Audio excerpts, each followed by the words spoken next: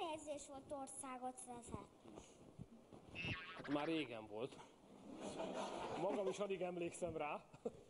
Uh, te most hány éves vagy, Luca? Öt. Na ez olyan régen volt, hogy akkor te még nem is éltél, képzeld el. De Igen? szeptemberi vagyok. Én 2000... Szeptemberi.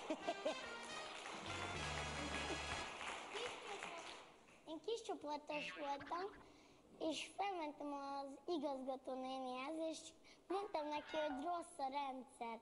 Miért van délutáni alvás, este nem tudunk lefeküdni, és reggel nem tudunk felkelni. És mit Erre- válaszolt erre? Erre mondja az igazgató néni, hogy nem, ez miniszteri rendelet. nem, nincs vége. Aha, szóval én tehetek róla, jól értem? Igen. Azt mo- szeretném ezt gyakran hallom, igen. hogy próbáld meg megtenni, hogy az iskolában meg az oviban 11 10-11-re járjunk.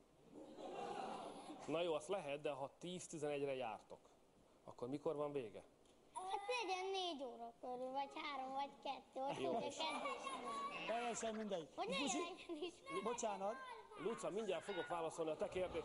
Fogok válaszolni a... Az oviba. Luca, fogok válaszolni a te kérdésedre is.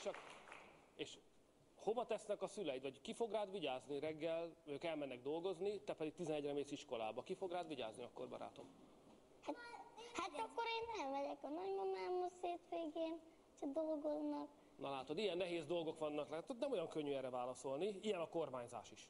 Az ember úgy gondolja, hogy olyan egyszerű, hogy kezdődjön mondjuk valami 11-kor. És akkor jönnek a kérdések, jó, de akkor ki fog rád addig vigyázni? Ki ad akkor reggelit? Egyáltalán. És Nem, mi kérdezzünk tőled. na jó, Jó, Kruzsina, te jössz. Amikor a gyerekeik tanulnak, vagy ki kell kérdezni a leckét, akkor te ellenzékben vagy, vagy kormányzol. a, Luca, hát amikor ki kell kérdeznem a leckét, akkor eh, én vagyok a kormánypárti. És a gyerekeim vannak ellenzékbe. Egyébként is az én gyerekeim, nekem öt gyermekem van, szeretnek ellenzékbe lenni. Eh, Tehát mindig megtalálják annak a, a magyarázatát vagy okát, hogy mit miért kellene éppen másképpen csinálni, mint ahogyan azt én, vagy éppen az édesanyjuk gondolja. De a nagyokkal már könnyebb. Miért, szok, miért szokták kiabálni, mikor olyan összegyűlés van? Miért nem? Hát ott van a mikrofonod. Hát Miért szokták kiabálni? Otthon is szokták kiabálni? o- úgy tűnik, hogy kiabálok? Igen.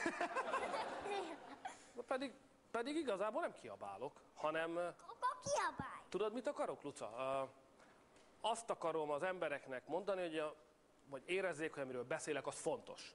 És nem kiabálok, hanem egy ilyen, egy ilyen erőt adok neki. Ki viszi a gyerekeket az iskolába? Hát a fő szabály az, hogy én viszem őket.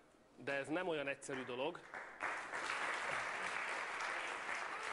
Ez nem olyan egyszerű dolog, mert nekem öt különböző korú gyerekem van. A legnagyobb már befejezte a gimnáziumot, a másik legnagyobb kollégiumban van, úgyhogy őt inkább csak hétvégeken látjuk.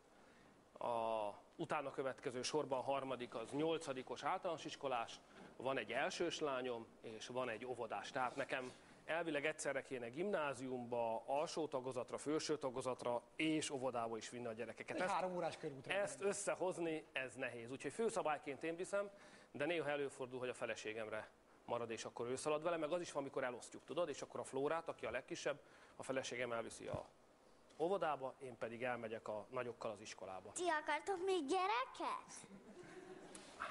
Nagyon örülnénk, ha lenne.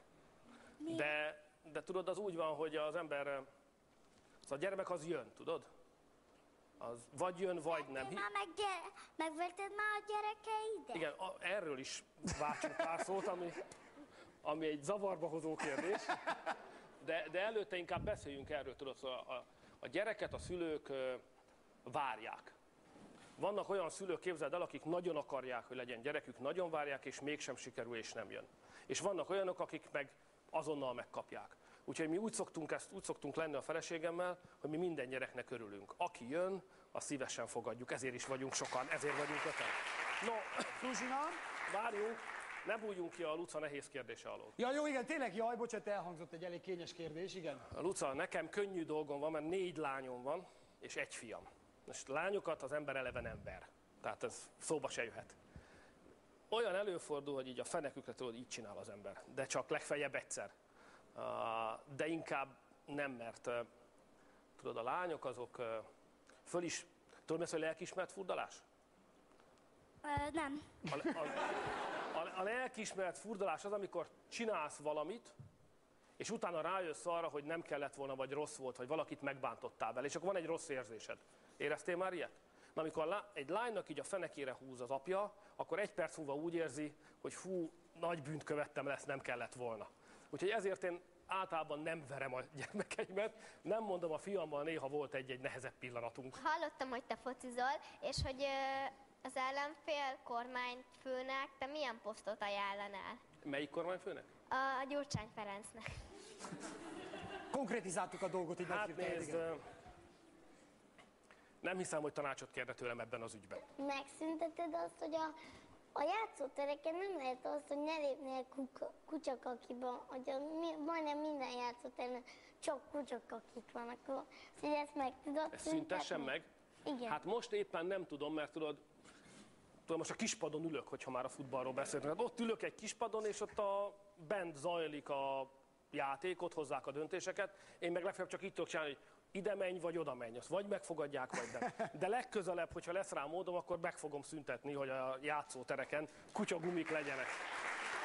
Ábel? Szerinted ki a legjobb? Én fiatal koromban eldöntöttem, hogy lesz elég erőm ahhoz, hogy soha ne próbáljam ki. Mi a kedvenc színed? Lila. Nem a narancssárga? Akkor újpesti vagy. Hamarabb voltam Újpest szurkoló, mint Fideszes. Ez más.